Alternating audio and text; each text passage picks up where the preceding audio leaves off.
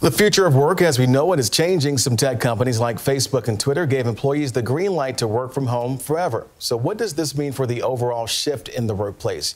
Joining me now is CraftWork founder Jim Heid. Jim, thanks for joining us. Thank you for the opportunity to share what we're learning. And can you tell me a little about CraftWork and the surge of tech employees you're now seeing? Yeah, well, CraftWork, you know, started uh, 60 days before the uh, pandemic was really um, put into or kind of came into place, and uh, we started under the notion that there would be people from the larger cities that would want to come to small towns like Healdsburg. Uh, for a vacation or come up here and work. We didn't really anticipate that it would be a permanent shift, but with the uh, the stay in shelter in place requirements that were put in place in March. And now, as you mentioned, a number of the tech companies giving their employees the opportunity to work remotely. We're seeing a number of the bigger tech companies and their individuals coming up here because they're figuring, hey, I can work anywhere I want. And what better place than a small wine country town uh, north of the Bay Area? I can get to the city in a day if I need to, but I can spend my days up here working in a really great town. And now that many people are working from home for an extended period of time, do you think this will lead to an overall shift in the workforce and how workspaces are used?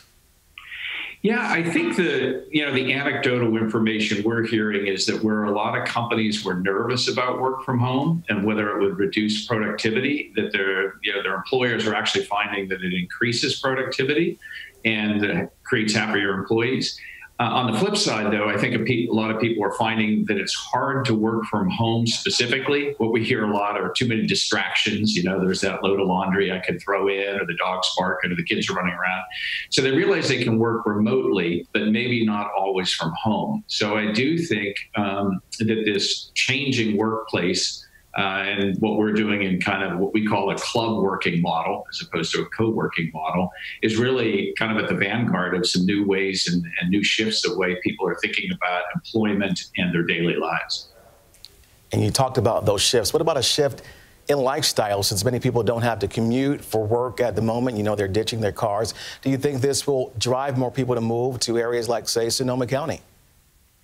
Yeah, I mean, it, one would think that that's a logical outcome. You know, how big a number that is, I don't know. But when you've got great towns like some of the small towns in Sonoma County that have all of the sophistication of the city in terms of great food, great wine, great recreation opportunities, but you don't have some of the problems that you have in the bigger cities. And you can walk to wherever you want. Uh, you don't have to drive. You don't have to deal with parking. You don't have to deal with transit. But now people are saying, well, yeah, I, why, why wouldn't I, why wouldn't I live in a place like this? And again, because you're so close to the city, if you do need to go to the museum or you want to go to a show, it's an hour's drive away. So it seems like the best of all worlds.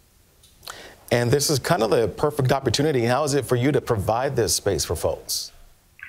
Well, I got to tell you, it was a bit of a nail biter when uh, we, as I said, we opened 60 days before all of this kind of unfolded. And as a new business, and as a startup, uh, I was riding the entrepreneurial wave, wondering, you know, what was going to happen. But we were really surprised at how much both local people said, "Hey, we want to make sure you come out of this," and then more importantly, people that were moving uh, up here for a short time. They were sheltering in place. They had second homes, so they came here for the city to shelter in place, and then found that they could really work well from here. So it, you know, it feels good that we have the support of the community, and it feels even better that we've been able to create a, a really productive workspace for people to try out this whole new, you know, working remotely thing in a high quality of life community. All right, Jim Heid, thank you so much for joining us. Thank you.